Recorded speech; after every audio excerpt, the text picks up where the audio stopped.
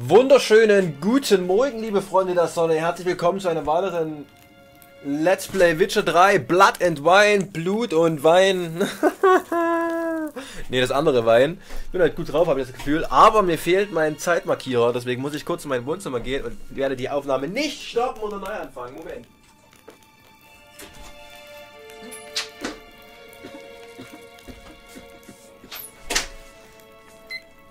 Und den Timer noch starten. Bums aus Nikolaus. Los geht's. In your face. Value Ray. Schnick, schnack, schnuck. Rein den kleinen Muck. Ja, diesmal habe ich auch nicht so lange Pause gemacht zwischen den jeweiligen Folgen. Das ist schon mal sehr cool. Dann weiß ich immer direkt, wo ich, wo ich war, worum es ging und so weiter und so fort. Finde die Schuhputzer aus der Vision. Ach nee, den Schuhputzer, sorry. Okay, war ein komischer Frame Drop. Drop it like it's hot. Angeblich soll ich da raus. Mir fällt gerade ein, wir haben dieses verdammte Silberschwert nicht gefunden. Fuck. Was ist das? Aerondidaia. Egal, ich gehe jetzt erstmal raus. Wenn wir draußen sind, überlegen wir uns, was wir als nächstes nehmen. Äh, das ist gar nicht so weit weg, dieses Hauptfest sehe ich gerade mit 363 Schritten. Aber... Vielleicht ist ja irgendwas näher. Moment, wir schauen mal, wo das jetzt genau liegt liegt da, okay. Okay, okay, okay. Aber hier haben wir ja, glaube ich, auch erstmal Quests erledigt. Wir gucken einfach mal. Zu Hause ist es am schönsten. Laskovo, ja, das ist weiter weg. Ritter zu Diensten, geht zum Kämmerer Belohnungen abholen, nimm am Turnier teil. Das ist auch egal. Quint, Weinfäden, kümmere dich um die Probleme auf dem Belgard Weingut. What? Wir haben das mit den Weinfäden doch abgeschlossen. Unsere, unsere Nebenquests sind fast weg. Wir müssen mal wieder neue aufgabeln. Es gibt ja noch ein paar Orte, die wir, wo wir die, äh, wo wir, also es gibt einfach Orte, wo man nicht war, wo es wahrscheinlich Quest gibt und natürlich auch die Anschlagbretter. Was ist denn das mit der Weinfäde? Hä? Das verstehe ich gerade nicht. Hatten wir das nicht alles schon erledigt gehabt? Also ich mache das jetzt trotzdem, das, das gefällt mir gerade besser, dass, also ich will es erstmal abschließen, deswegen mache ich das trotzdem, aber ich bin gerade super verwirrt. Ich verstehe das gerade nicht. Hä? Und wieso ist denn das Fragezeichen noch da, wenn wir hier schon mal waren? Ja, also ich bin gerade, ich verstehe es nicht. Also wir machen es jetzt auf jeden Fall, weil ich nicht verstehe, wieso da noch was offen ist. Wir werden aber dieses eine Fragezeichen da auch direkt mitnehmen, wenn wir jetzt hier einmal den Luxus haben und schnell reisen können von Wegkreuz zu Wegkreuz. Dann machen wir erstmal das Fragezeichen hier. Was? Ich könnte schwören, haben wir denn dies... Ich verstehe es gerade nicht. Wir hatten doch auf beiden Weingütern alles abgeschlossen, dachte ich. Sehr merkwürdig. Hm. Oh, da unten am See. Vielleicht mal wieder ein paar Ertrunkene. Gab es überhaupt schon mal eine Quest bei Blood and Wine, wo Ertrunkene dabei waren? Ich glaube nicht. Ach, ich glaube falsch. Aber in Witcher 3 kam es super vor, gerade am Anfang in diesem Moorgebiet. Verständlicherweise. So, gehören jetzt die rumgeisternden Gegner schon mit zu dem Fragezeichen oder nicht? Hallo? Hallo? Bewachter Schatz. Uh. Sind nicht solche Nebeltypen? Ja, Neblinge.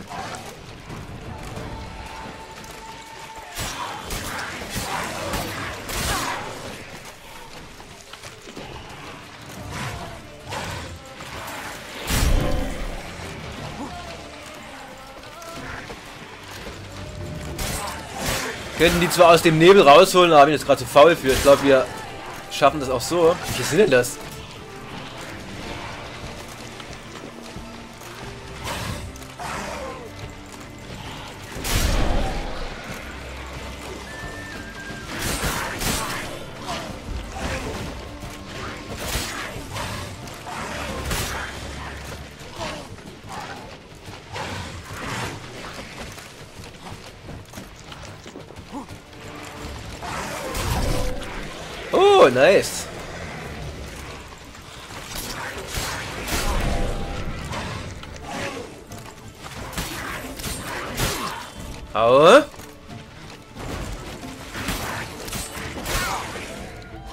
Na komm her. Aber echt viele Neblinge. Echt viele Neblinge. Vier Stück, oder? Ich denke, ich habe ganz gut gekämpft, weil die sind eigentlich nicht so einfach. Fünfte Essenz. Ja, wir brauchten ja auch irgendwas für die Katze. Ich habe schon wieder vergessen, was es war. Doch egal. Oh, hier scheint eine Essenslieferung auf jeden Fall. Na, brauchen wir nicht. Essenslieferung auf jeden Fall kaputt gegangen zu sein, wie es aussieht. Ein paar Schlägereien haben wir auch schon damit. Was soll denn dieses Hol äh, Wolfsgeheul hier die ganze Zeit? Nickelklumpen. Ich will mal kurz gucken, wie viel Essen wir haben. Also ob es jetzt auf so viel mittlerweile ist, dass ich hier ohne Probleme zwischendurch essen kann, um mich zu heilen. Also ich glaube, das reicht auf jeden Fall. Wir alleine, alleine Zwiebeln, von der verdammten Zwiebelbande haben wir 38. Wahrscheinlich sind nicht alle Zwiebeln von denen, aber die meisten Zwiebeln wird von der verdammten Zwiebelbande sein. 38 Stück. Dann haben wir noch 20 Pilze, das heißt, da haben wir schon über 50. Dann hier nochmal 13 grillte Schweinefleisch, 20 Eier. Sieht doch mir nicht aus wie normales Ei, vielleicht wie, wie ein Entenei oder sowas. Äh, ja, ich denke, wir haben echt genügend, damit ich hier auch jetzt tagsüber einfach mal mir was in den Hals schieben kann, um mich schneller zu heilen. Wobei es fast sinnvoller ist, das mit Schwalbe zu machen, fällt mir gerade ein, weil wir haben, wir haben viel mehr Schnaps, den man verwendet, um Tränke wieder aufzufüllen als Essen, weil ich glaube, man braucht nur ein einziges, eine einzige Schnapsflasche, um alle Tränke wieder aufzufüllen, deswegen, und natürlich regeneriert Schwalbe auch einfach mehr als das Essen, deswegen ist es vielleicht. Aber ich finde es irgendwie cooler, halt das mit Essen zu machen, weil es irgendwie auch logischer wirkt. Dass Geralt auch mal was nachschauen muss. Und der isst auch einfach gerne, Mann. Der isst gerne, verdammt. Äh, weiterführendes Quest. Smigo, Sirkis oder Serkis Notizen, Löffel aus reinem Gold. Hätte bestimmt auch diesem komischen, dieser verzauberten Frau gefallen, die die ganzen Löffel hatte. Smigo Serkis Notizen. Ich habe ihn verloren. Meinen Liebling. Jemand hat ihn mir gestohlen. Meinen Schatz. Meinen Löffel. Diese Kreatur aus dem Karoberta-Wald. Sie muss es gewesen sein. Die Hilfskraft berichtet, dass in der Stadt überall von vermissten Löffeln die Rede ist. Und das schon eine ganze Weile. Da diese Kreatur in ganz Beauclair gestohlen hat und von unserer tapferen Wache nicht gefasst wurde, bedeutet das, dass sie klug sein muss. Viel wäre gerissen. Und jeder, der klug ist, lässt mit sich reden, besonders wenn es um Geld geht. Also habe ich meinen Juwelier Martenberg gebeten, einen Löffel aus reinem Gold anzufertigen, den ich dann in den Taroberta-Wald mitnehme, nach dem Monster suche und ihm einen Tausch vorschlage. Einen Löffel aus Gold für meinen kostbarsten Löffel. Tja, es hat wohl leider nicht ganz funktioniert, da ist gar nicht so weit gekommen, weil ihn vorher Neblinge zerfetzt haben. Tut mir leid. Jetzt gehen wir natürlich hier hin und da, da es da sowieso kein Wegkreuz gibt, können wir da auch mit Plötze hinreiten. Come on, komm mal her, mein Freund. Wird Zeit, dass du auch mal wieder anständig ausgeritten wirst. Wobei, er ist ein verzauberter, ein verzaubertes Pferd. Ich weiß nicht, was seine wahre Gestalt ist. Er ist auf jeden Fall, ich weiß es nicht, ich weiß es nicht. Es könnte ein Magier sein, wobei das glaube ich ehrlich gesagt nicht. Ich glaube nicht, dass Plötze ein Magier ist, also ein menschliches Wesen, das sich einfach verzaubert hat. Erstens wäre es ein ziemlich mächtiger Zauber und generell ein sehr mächtiger, sehr mächtiger Zauberer, wenn er das könnte, sich in ein Pferd dauerhaft zu verwandeln und so. Ähm, und nicht abstürzen. Also eigentlich absteigen sollst du eigentlich. Absteigen. Steig mal ab. Jetzt. Äh, also er wäre schon sehr mächtig, wenn er das könnte. Deswegen denke ich, es ist eher ein verzaubertes Wesen. Also es ist ein magisches Wesen. Was genau weiß ich nicht, aber ich denke, es ist ein magisches Wesen. So eine Art Dämon oder, oder Djinn oder sowas.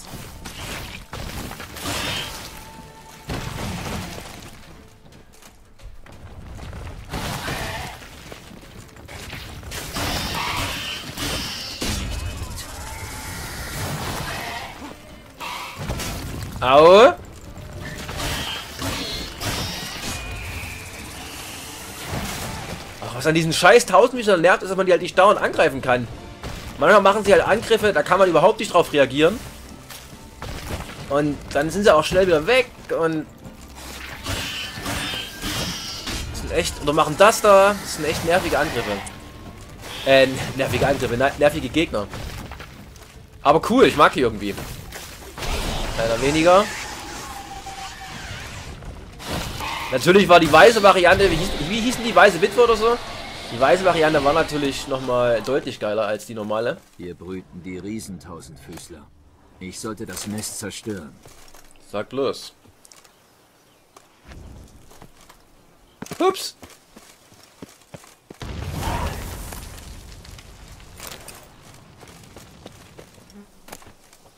Gibt es da irgendwas Ganzes? Man hat ja auch Waffen da drin liegen oder so. Diesmal leider nicht. Oder ist eine Leiche? Rot sogar. Liste mit Belgards Siegel. Ach ja, stimmt. Das ist ja auch ein Quest.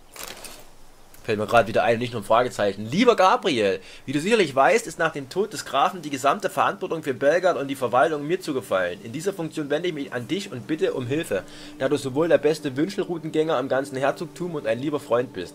Ich hoffe, dass du mir deine Dienste zur Verfügung stellst. Schon seltsam, dass ich deine Dienste beim Verwalten meines Weinguts einmal brauchen würde und gleich erfährst du auch warum.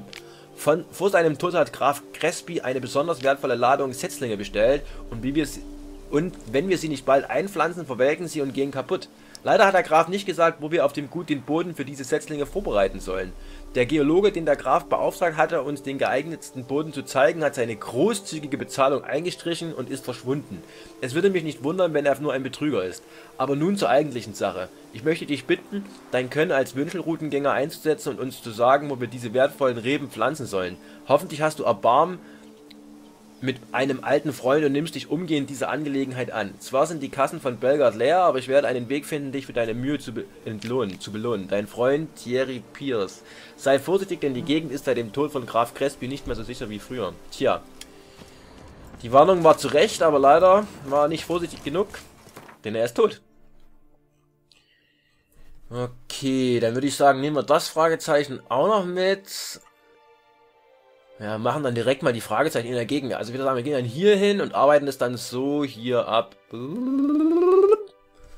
Dann haben wir nämlich das hier erstmal geklärt, weil ich weiß ja auch gar nicht, ob wir hier nochmal in die Gegend kommen mit, mit Nebenquests. Wie gesagt, die meisten Nebenquests haben wir mittlerweile abgearbeitet, zumindest von denen, die wir jetzt bis jetzt eingesammelt haben, aber es gibt halt noch ein paar.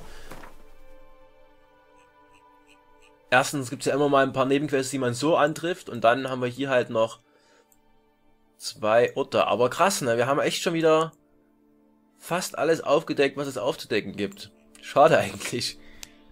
Das heißt, so viele Nebenquests und neue Fragezeichen kommen gar nicht dazu. Es sind nur noch zwei Einschlagbretter, die mir fehlen. Ach, plötzlich nicht da unten, ne? Ne, hier kommst du wieder nicht hoch oder noch schwierig. Ich, ich renn mal weiter, Moment. So. Hier aber. Das heißt, so viel ist es gar nicht, aber ich bin ja nun nicht wirklich schnell beim Hauptquest vorangekommen. Das heißt, das Hauptquest wird wahrscheinlich noch, noch einige Stunden gehen. Weil sonst werden wir das wahrscheinlich nicht schaffen mit... Ist dort ein Nest? Da liegt auf jeden Fall jemand, aber...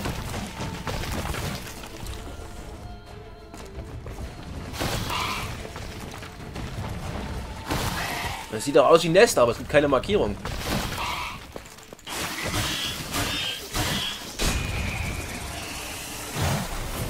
Sag mal, kann sein, dass wir schon ewig keinen mehr direkt umgebracht haben mit unserer Fähigkeit. Haben wir die überhaupt mal ausgewählt?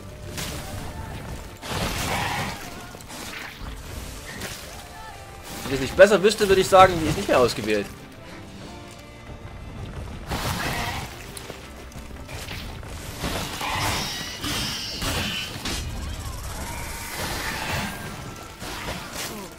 Kämpfen ja auch immer mit Adrenalinpunkten. Ich zauber schon gar nicht mehr.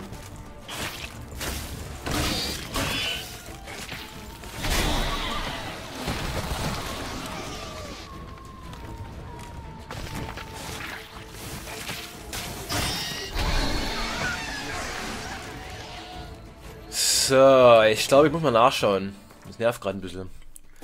Also, es, es, es, ich glaube einfach nicht zu wissen, ob das jetzt ausgewählt ist oder nicht. Was war denn das für eine Fähigkeit? Ich bin gerade, stehe gerade auf dem Schlauch. Was war denn das? War das hier so ein extra Ding, oder? Wenn du im Nahkampf Schaden erleidest, wirken 1,5% pro Punkt deiner Toxizitätsstufe auf den Gegner. Schwertangriffe wirken 95%, es ist gar nicht ausgewählt, ne? Das ist ausgewählt. Gegen Convers in allen Fällen, denen die wieder aha.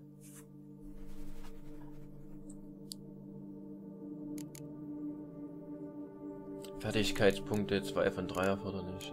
Äh, äh. Also muss es ja irgendwo hier drin gewesen sein. So, Moment mal. Ist das hier? Tödliche jeder Adrenalin fügt, den, fügt der Chance auf sofortiges Töten des Gegners 2% Hinzu. Doch, ist noch ausgewählt. Hier. Okay. Na gut, ich brauche jetzt für mich einfach nur mal die Sicherheit, dass es noch an ist. Also, dann ist es mir egal. Ich meine, 2% ist auch nicht hoch. Ähm, aber je Adrenalinpunkt, das heißt, wir bekommen es bis auf 6%. Ähm, aber wie gesagt, mir ging einfach nur für, für, mich selbst jetzt, weil ich irgendwie unsicher war, ob es noch ausgewählt ist. Ja, das hier sieht aus wie ein Monsternest, ist aber einfach nur eine Ansammlung an Knochen etc. Hier gibt es auch überhaupt gar nichts. Also ich hätte ja überhaupt niemanden umbringen müssen. Außer dieses verwesende Fleisch und halt die Sachen, die in den Überresten drin waren, ist ja einfach nichts. Tut mir leid, Plötze, dass ich das deswegen, dass ich, dass ich dich habe deswegen angreifen lassen. Oh, bitte Pferde, hallo! Guck mal, Plötze, deine Verwandten. Ach nee, stimmt, du bist ja kein echtes Pferd. Aber du tust zumindest so. So, weiter geht's. Ach, die Landschaft schon wieder. Ich könnte wieder anhalten und einfach stehen bleiben und mich ein bisschen umgucken, aber wir wollen ja auch vorankommen. Na komm, oder halt auch nicht.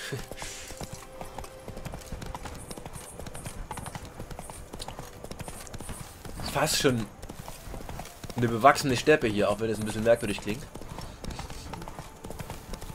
Steppe hat ja, hat ja eigentlich keine wirklichen Bäume. Okay, was haben wir da? Verlassener Ort oder wie?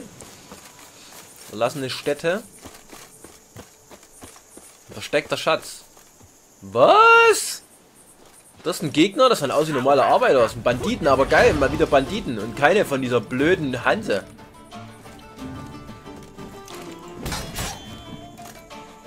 Oh, ich habe gar keinen... Ich muss mal wieder nächtigen. Ich habe gar keinen...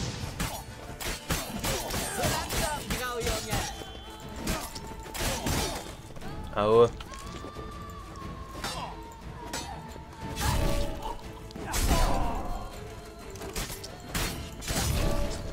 Stimmt, wenn ich jemanden umbringe, bekomme ich doch jetzt äh, auch Energie dazu, oder? Das war doch das.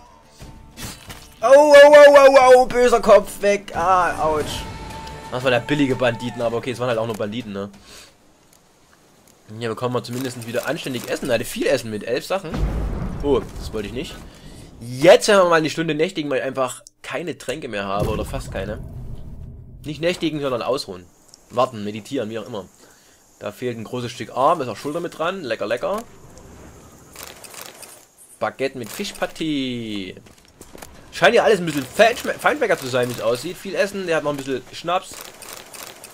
Tut mir ja fast... Ich verstehe nicht, warum sie gegen mich kämpfen mussten. Es tut mir ja fast mal leid, dass ich die umbringen musste. Ich meine, dann hätte ihr schön was zusammen essen und trinken können.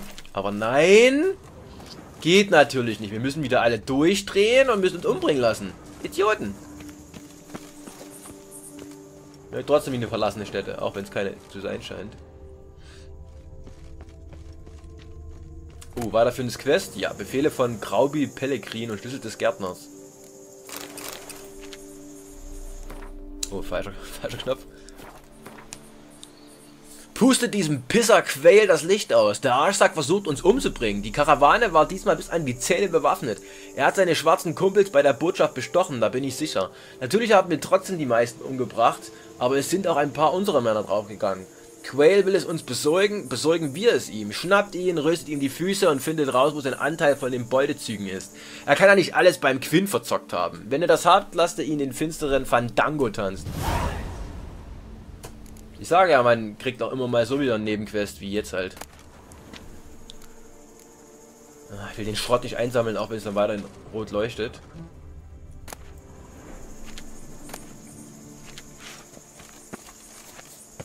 Auch krass, wie man einfach eine Million leere Flaschen findet. Als ob man die so viel verwenden... Oh, das ist offen. Ach, ich dachte schon. Ich dachte schon, dass dieses komische kleine Ding da offen ist. Hätte mich stark gewundert. Ein Färber, viel wert. Generell, dieses Färberzeug ist so viel wert. Ach so, das war eine... Das war ein ganzes Konvolut, was wir hier gerade gelootet haben. Schnaps kann man immer mal gebrauchen.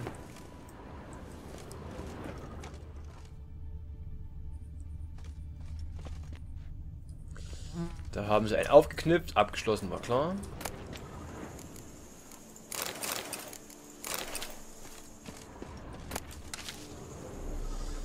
Puste Blume. Ach so, wir müssen ja irgendwas suchen hier, fällt mir gerade auf. suchen der Werkstatt nach der Truhe mit der Beute. Okay, wenn wir hier nirgendwo reinkommen, müsste man das doch eigentlich total einfach finden, oder nicht? Ah, okay.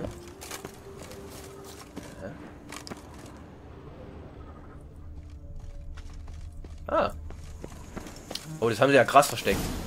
Tagebuch von Quell, dem Gärtner, welche Schemas. Uh, uh, uh, anständig, anständig viel, was wir da mitnehmen. 21. Tag im Dienst. Götter ist das öde. Hier gibt es wirklich gar nichts zu tun. Eine kurze Morgenrunde reicht, um alle Pflanzen zu gießen. Das Blumenbeet bei der Botschaft braucht auch nicht viel Pflege. Und so geht es Tag für Tag. Vielleicht schaue ich heute in San Sebastian vorbei. Ich spiele ein Ründchen Quint. 22. Tag im Dienst. Ich hasse Quint. Ich habe einen Monatslohn verloren. Eigentlich auch den nächsten. Jetzt habe ich Schulden bei diesem Graubi Pellegrin. Der versteht bei sowas keinen Spaß. Ich muss irgendwie ein paar Florien zusammenkratzen, sonst geht das übel für mich aus. 24. Tag im Dienst. Ich habe gehört, wie der Botschafter seinem Sekretär Anweisungen gegeben hat. In den nächsten Tagen schicken sie einen Weintransport für den kaiserlichen Hof, zusammen mit nicht genutzten operativen Ressourcen. Ich schätze, damit ist ein Sack voller Florin gemeint. Solche Informationen könnten einem Knaben aus dem richtigen Stadtteil ein Vermögen wert sein. 27. Tag im Dienst. Graubi Pellegrin hat die Eskorte der Karawane geschlachtet und die Fracht geklaut. Er besaß die Stirn, mir ein volles Geldsäckel in die Botschaft zu bringen. Das sei mein Anteil. Ich spucke auf sein Geld, aber ich fürchte, ich werde es noch früh genug brauchen. Ich habe es an einem sicheren Ort versteckt. Seit der alte Ralf, seit der alte Ralf tot ist, kauft ja doch niemand mehr über Übertöpfe aus Holz. Seine Werkstatt ist das ideale Versteck. 29. Tag im Dienst. Graubil hat mir aufgetragen, in der Botschaft die Augen nach der nächsten geplanten Karawane offen zu halten. Ganz beiläufig hat er hinzugefügt, dass der Wachkommandant sicher schockiert wäre, von meiner Rolle beim vorigen Überfall zu erfahren.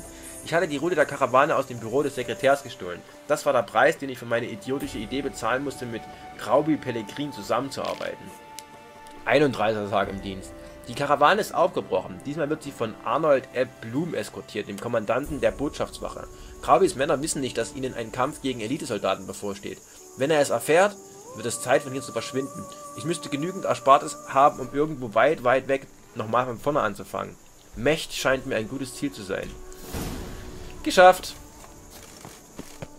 Jetzt müssen wir aber nochmal das... Wobei, wir müssen eigentlich das andere Quest gar nicht auswählen, weil es war ja eh per Fragezeichen markiert und die wollen wir jetzt sowieso alle abarbeiten. Machen wir aber erst beim nächsten Mal. Verarscht. Bis zum nächsten Mal, Paxis.